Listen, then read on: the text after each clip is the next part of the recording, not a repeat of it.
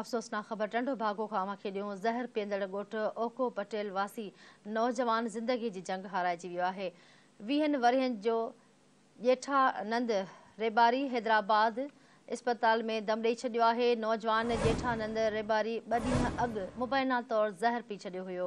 अव्हांखे अपडेट करे रहिया आहियूं टंडो धागो खां ज़हर पीअंदड़ ॻोठु ओको पटेल वासी नौजवान ज़िंदगीअ जी जंग हाराए वियो वीहनि वरनि जो जेठानंद रेबारी हैदराबाद इस्पताल में दम दमदड़ी हवाले कयो आहे नौजवान जेठानंद रेबारी ॿ ॾींहं अॻु मुबैना तौरु ज़हरु पी छॾियो हुओ अफ़सोसना ख़बर बाबति तव्हांखे अपडेट कयूं पिया टंडो भागो खां ज़हर पीअंदड़ ॻोठु ओको पटेल वासी नौजवान ज़िंदगी जी जंग हाराए वियो आहे वीहनि वरहनि जो नंद रेबारी हैदराबाद इस्पताल में